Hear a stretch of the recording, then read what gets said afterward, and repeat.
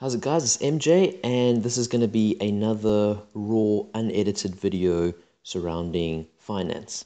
So the last video we spoke about tax. What we're going to be doing in this video is looking at central banks. So this is point number three on the syllabus and that is to demonstrate a knowledge of the influence from central banks over the commercial and economic environment. So let's get into it. What do we mean by commercial banks. Oh, sorry, not commercial banks, central banks. What do we mean by central banks? And like I said, this is raw, this is unedited, this is heavily my opinion, this is me studying out loud. So feel free to disagree with what I say in the comment section below. Um, like I said, not everything here is going to be factual. It's me talking to myself as I try uh, grapple with these concepts. And what I like to do when I study finance is be very skeptical and challenge all the material that we are presented with. So, for instance, the first thing we're told is that central banks are independent. And I think that is absolute rubbish. So, we're told that central banks are independent from government. And why I say that is rubbish is that when you look at who is on who's in control of the central bank, you see that they're appointed by the government. They meet regularly with the government, and the government sets the goals for them to achieve. They have independence around how they achieve that, but it's almost like the government is outsourcing it, but tells them what to do, but says, you know what, guys, do it however you want. And what do they do? Well, they're going to be looking after something known as monetary policy. Now, monetary policy, you'll remember from your economic days, is the sister policy to something known as fiscal policy. Now, fiscal policy deals with, uh, you know, tax and government spending and um, all those type of things. Monetary policy deals primarily with the money supply. And I mean, this is where you can get a lot of economic debate. Which one's more important, monetary supply or fiscal policy? This is where you start entering, you know, who's a better economist, Keynes or, you know, Milton Friedman. You know, there's a lot of arguing and debating that you can do around these topics. However, for the the meaning of the actuarial exams, you, we need to know what is their influence over the economic environment. So I'm not going to try to get too bogged down in in all this type of stuff, but rather focus more on like the theory that we need to know. So one thing, let me maybe find some more some more space over here, is let's look at what is their goal. Okay, what is the primary goal of the central bank? The central bank wants a very simple aim, and that is sustainable economic growth. Sustainable economic growth. That's their aim. So that's that's important. Keep that at the back of your mind. This is what the central bank wants. So it's actually it's been set up for this is a good noble thing. It's good to have uh, sustainable economic growth. And how they try to achieve this, or specifically the South African Reserve Bank or central bank, is they think that they can achieve sustainable economic growth through price stability. Okay, so they, they kind of take the stance that if everything is stable, stability, um, you know, if everything is stable, is vol- if volatility is reduced, then that creates the perfect environment for economic growth. Um, and how they're trying to achieve price stability is they want to keep inflation under control. So they believe they can achieve price stability by keeping inflation um, under control. And it's interesting is, and I mean we're seeing this a little bit in Europe, is inflation was too low and that becomes a problem.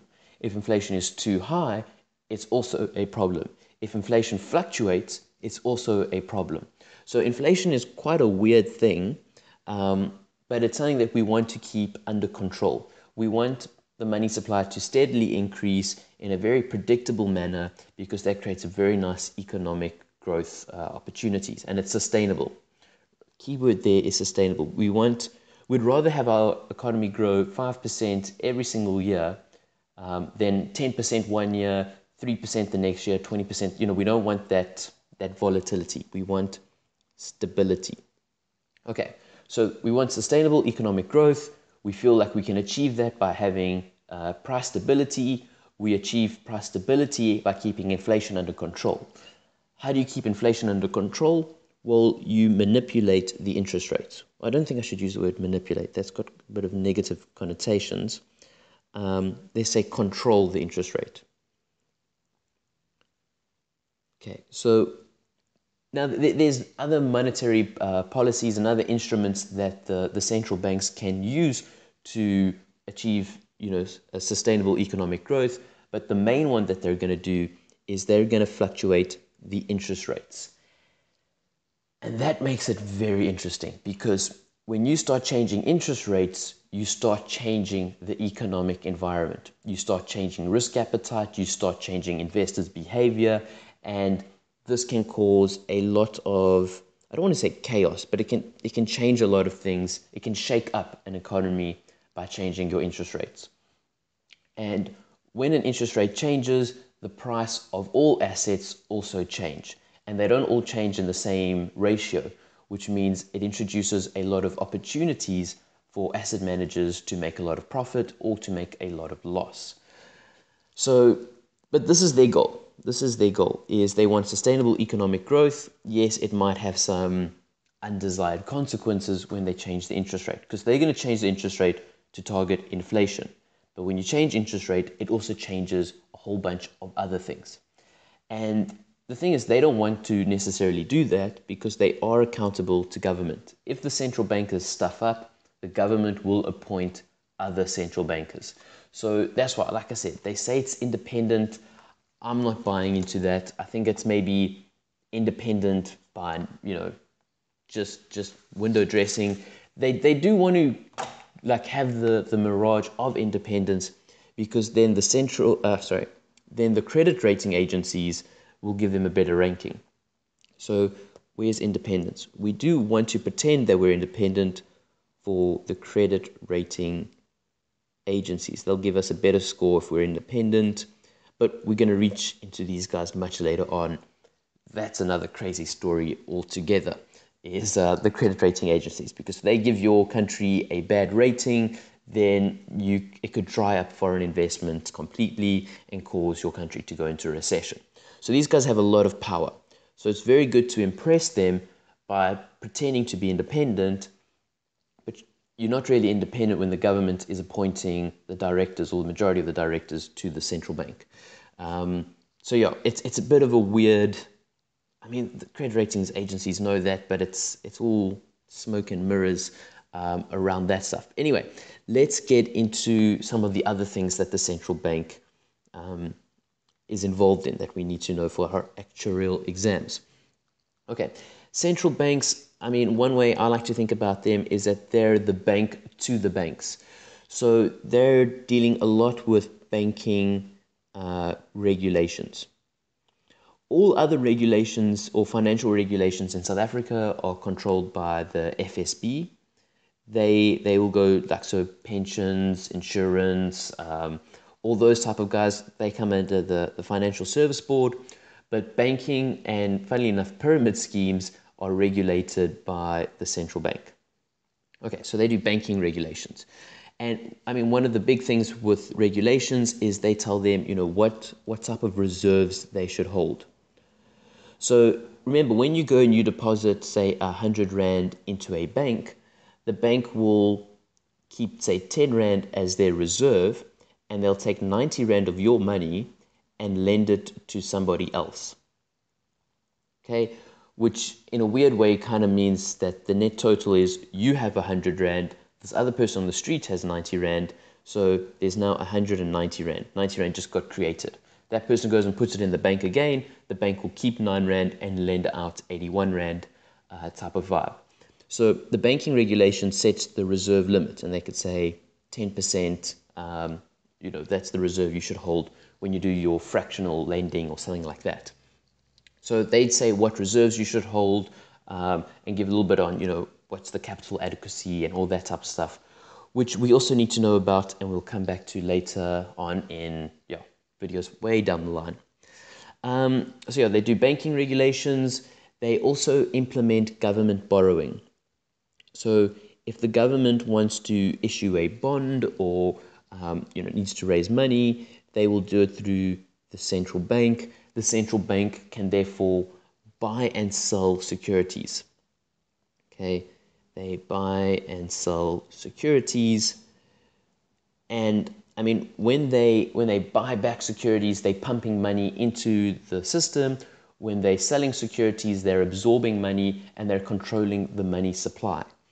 Um, so this is like another technique that they can use to say control inflation like I said, interest rate control is their main one, but they can do a whole bunch of other things um, to control the money supply.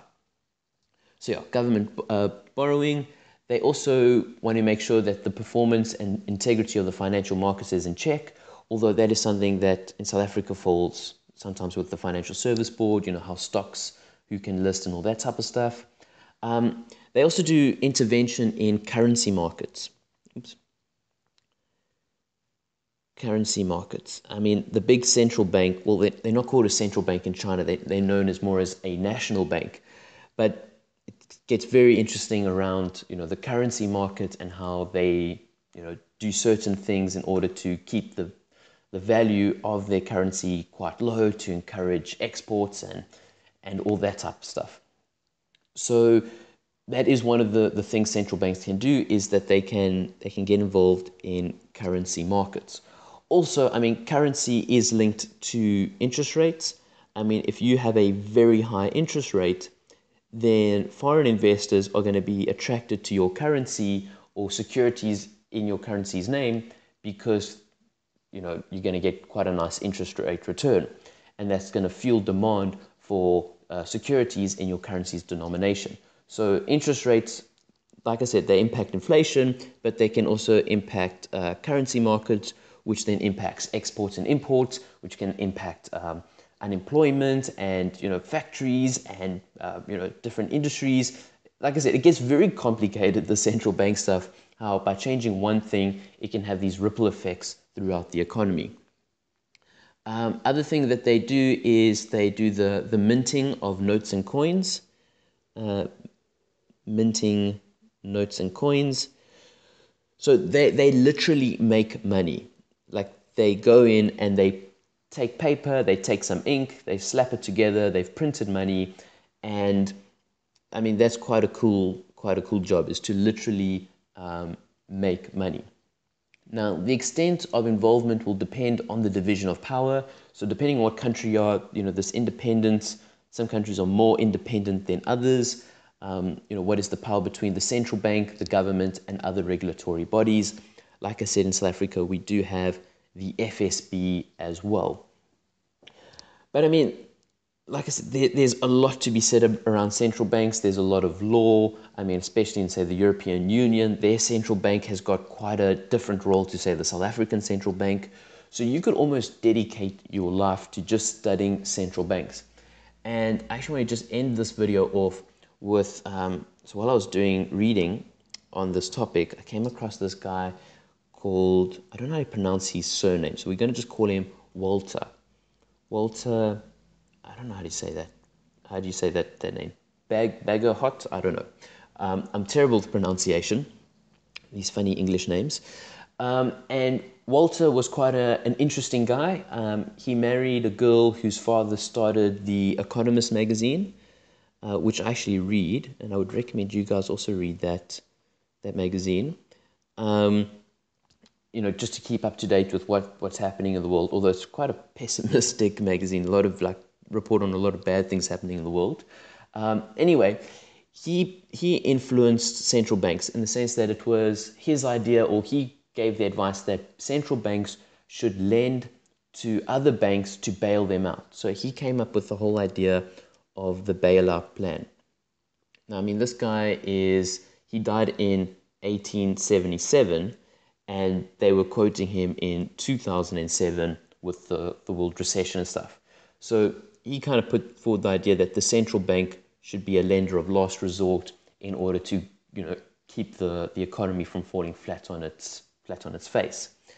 Um, but finally, just to end off this video, I was reading through some of his quotes, and his um, one of them he's got quite a lot of funny quotes, uh, very much tongue in cheek. But the one that he said, which I thought was quite interesting, coming to central banks and stuff like that, and these organizations, is he says the whole history of civilization is strewn with creeds and institutions which were invaluable at first and deadly afterwards. And what I find interesting about this quote is a lot of these organizations or things that we set up, we set them up with great intentions. You know, central bank's going to keep the economy stable. It's going to do this. It's going to do that. It's going to keep unemployment down, inflation in check, all this type of stuff. But when you start putting in these organizations with their regulations, there are some unforeseen consequences in the sense that it increases the barrier to entry and it kind of reduces the whole free market idea in the sense that not anyone can now just start operating a bank. To get a banking license is very difficult, which means people who already have banking licenses can set quite a high price for you know banking fees and you don't want that in a free market. Although you don't want the alternative where you have a whole bunch of scammers running around hustling everybody. And I mean, so that's why there was a need for central banks uh, because of that, but it does have some negative consequences. Anyway, that's, um, that is the central bank. The, the big thing to realize, the big thing to realize is this part over here where they can influence the interest rates. And by changing the interest rates, they can change the whole economic environment. So if you're into, you know, trading and buying stocks and all that type of stuff, or you're a speculator or you're a big asset manager, what you can always do is whenever an event happens, you can think to yourself, maybe let's draw it very quickly here. So an event happens. You can think, how will the central bank react to this? Okay, so a random event happens. This event is random. Um, the central bank, bank reacts, but they will be in a very predictable way. Because remember, they've stated what their aim is, and that is to keep prices stable. So they're going to change interest rates in a certain way to combat whatever event it was. Because interest rates are changing, there's going to be a change in asset prices, which you could almost predict. So you can know, okay, this random event happens, central banks are going to increase interest rates to prevent that, which is actually going to cause uh, these various assets to also go up and these various assets to go down. You short sell those assets, you buy the other assets, and once the central bank makes their decision, congratulations, you've actually made a lot of money. Um, although I must say, people who have implemented this strategy in the past have mis- misread how the central bank would react, or central banks may only lower interest rates or change interest rates much later, and then you know there's the whole liquidity um, of their position that starts taking strain, and you know it gets a little bit more complicated than that. But the general idea is that if you understand the central banks very very well, you can make a lot of money um, through investments and speculations in the stock market and the various other asset classes. So they are an important player, and um, but yeah, there's a lot of rules, regulations, litigation, and all the stuff that goes behind them. But at the end of the day, remember that they want to sustain economic growth, they want price stability, they want to keep inflation under control, and their main tool is changing the interest rate. Thanks, guys, so much for watching. And yeah, hit subscribe because I will be making a whole bunch of videos like this where they're raw, unedited, me just talking about the various things that we need to know in the syllabus for the fellowship exams of finance. Thanks guys for watching. Cheers.